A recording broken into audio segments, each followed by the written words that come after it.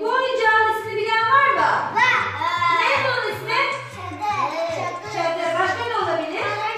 Paraşüt. Aferin sana. Şimdi ben bu paraşütteki renklere dokunduğum zaman bana renklerin isimlerini söyleyeceksin. Bakalım renkleri tanıyoruz. Bu hangi renk?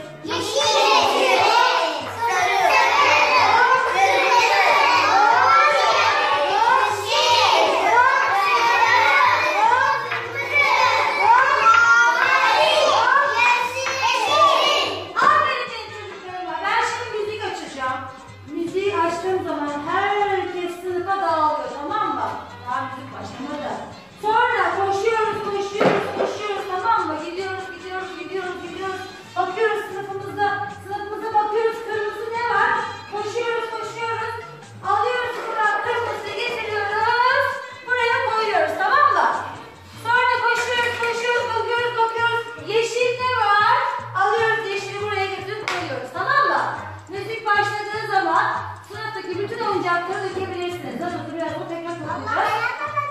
Ben şimdi bunları alıyorum. Tamam mı çocuklar?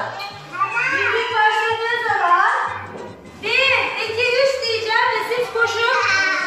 Bunların rengiyle bana batarya getiriyorsunuz.